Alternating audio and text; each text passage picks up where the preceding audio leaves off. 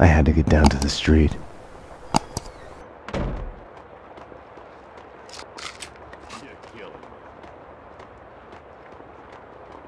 Shoot him!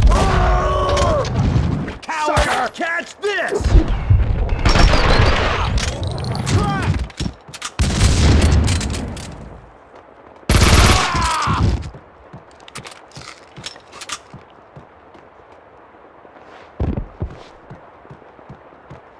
Mona had come through here. The dead cleaner's a sign of her passage. Help! Anybody! Oh, oh, bless you. I I owe you one.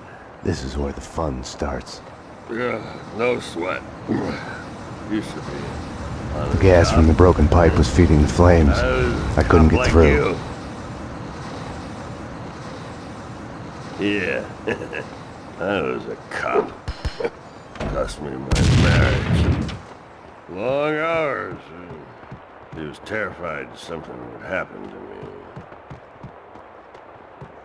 Goddamn slime. Hey, suckers!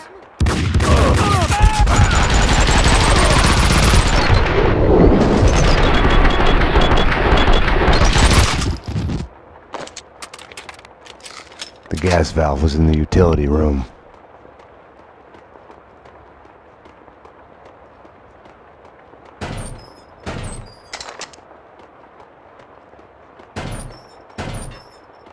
With the gas turned off, the fire on the third floor was no longer a problem.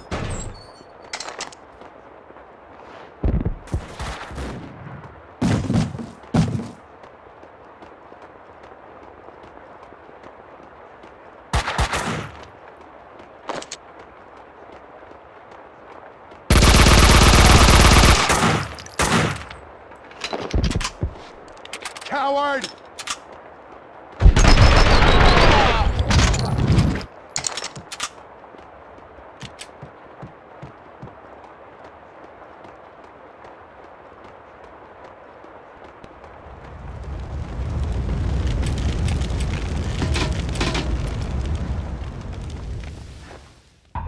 There he is! You heard what Kaufman said! Wipe him out!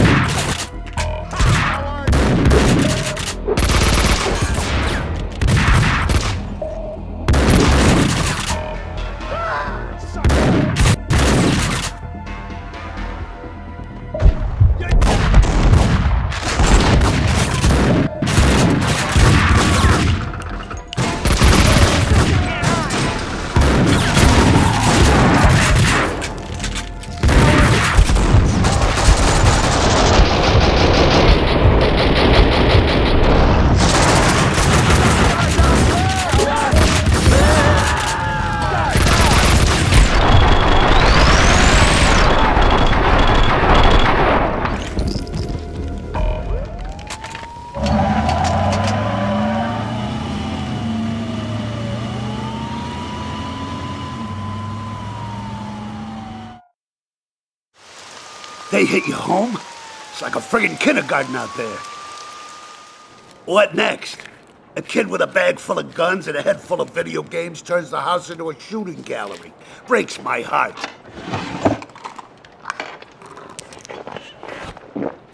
What the hell's going on? With me, he meant. I had my doubts about the cleaners spying on me, about Mona. According to Vladimir Lem, the mob captain Vincent Gognitti is behind the hits. Seems he's made a deal with an unknown third party.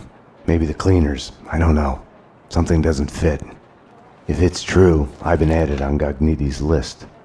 I came close to lying to Bravura. I told myself I needed to find out the facts first before others could screw up the evidence, but that was an excuse. Mona had gotten under my skin. I couldn't close my eyes to any of it anymore. It was more important than the job. She had tried to reach me, left her number. Risky leaving your number at the police station. Trace the call and you'll see I'm talking to you from Hong Kong. Winterson, I'll give you my address. Make sure you're not followed. Max, what's going on? What do you mean? Don't do anything stupid.